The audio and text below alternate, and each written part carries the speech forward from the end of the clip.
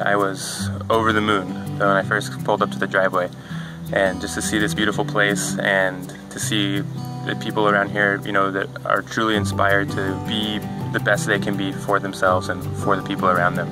My experience has been very transformative in the way that I find myself communicating with others and the way that I think, especially about myself and how I want to continue down my life path. The program gave me and I think all the students a great opportunity to see how life in an eco-village looks like. It was really an awesome experience that I can only recommend. It's like community was the piece of myself that I didn't realize I was missing until I had it and it, it was life-changing and I want to continue living in community for the rest of my life. It's become very important to me. Living at Lost Valley was a wonderful experience. Everyone made me feel so welcome, uh, friendly, excellent food, good cooks. Just have nothing but positive remarks about the summer I've spent here.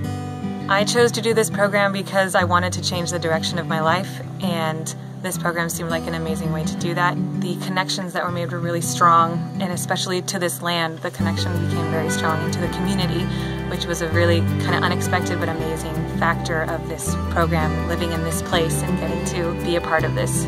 Coming out to Lost Valley, I was searching for a place that I could further my skills with permaculture and with sustainable living while also growing a community, uh, finding people that I feel in common with around uh, and surrounding myself with those people. Um, and I very much found that here.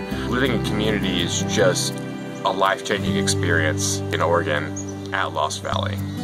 The group developed a very nice relationship, a great amount of trust and openness. I highly recommend this program for anyone who's curious about some of these topics and maybe where they're going to go next in, in their life and looking for a different sort of framework than what they're finding in the mainstream.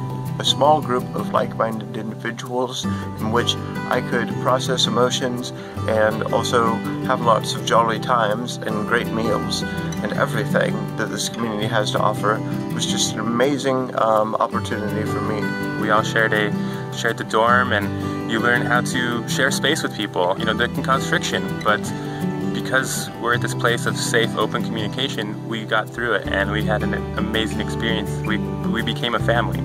And, you know, I know that these people are going to be friends I have for the rest of my life.